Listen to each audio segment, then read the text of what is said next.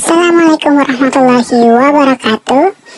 Kembali lagi saya dengan channel Masakan Di video kali ini saya akan masak labu kuning, daun kelor, dan juga jagung. Penasaran? Mari kita masak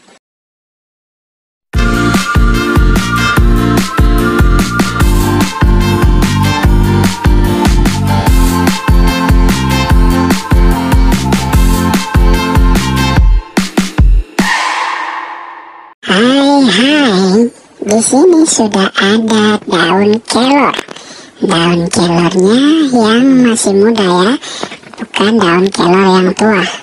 Lalu di sini juga ada labu kuning yang sudah dipotong dadu atau dipotong kecil-kecil menjadi beberapa bagian.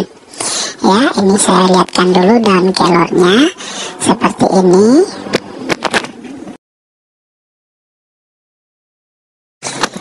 Ini labu yang kita potong dadu. Kemudian di sini ada jagung juga yang akan kita iris-iris. Kita potong-potong dulu dadunya. Eh salah sorry ya. Kita potong-potong dulu labu kuningnya yang seperti ini. Jangan terlalu gede-gede ya. Kita potong menjadi beberapa bagian atau dipotong-potong dadu.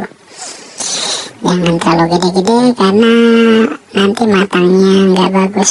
Dia nggak lembek keras di tengahnya ya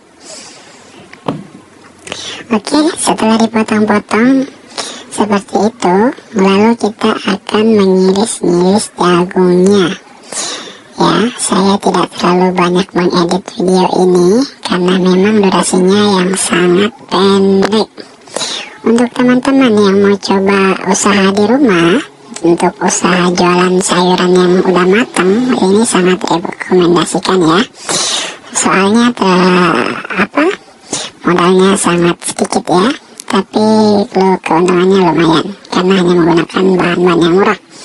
Di sini ada jagung manis kita iris-iris seperti ini ya. Ingat jagung manis bukan jagung tongkol karena kita akan konsumsi jagung ini ya bukan dijadikan pakan.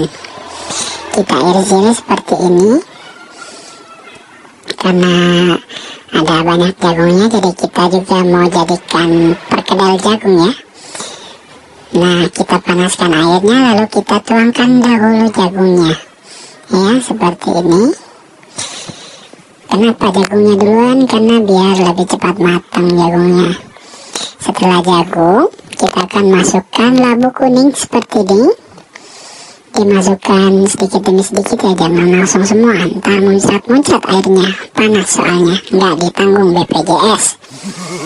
Ya, dan ini adalah daun kelornya lihat penampakannya sudah mendidih seperti itu ya.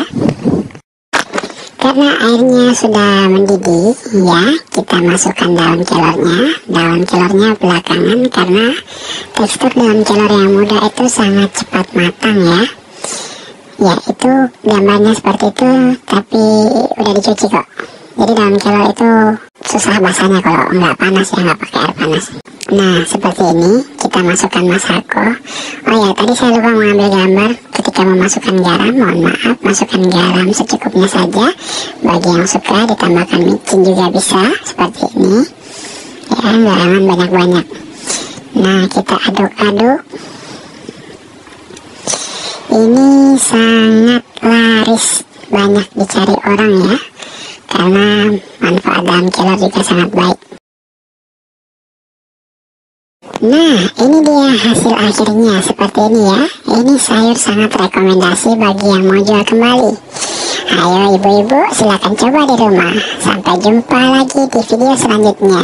Bye-bye, jangan lupa subscribe ya.